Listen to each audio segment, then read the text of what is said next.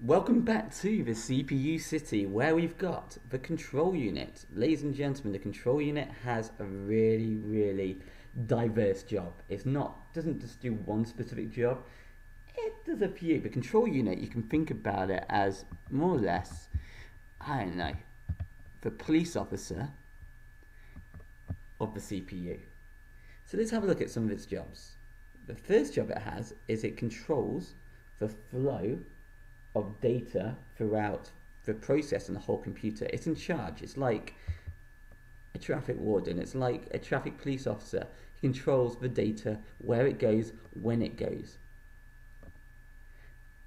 The second job is it ensures that program instructions. So, like we looked at in the first video, you've got program, data, instructions.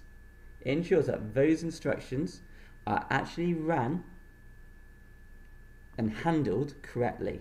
So yet again, like a police officer, it protects those instructions, ensures that they're ran correctly and they're handled correctly in the CPU. So the control unit, two jobs really, controls the flow of data and it ensures that programs are handled and executed correctly. Please note that there's a flow of data between the ALU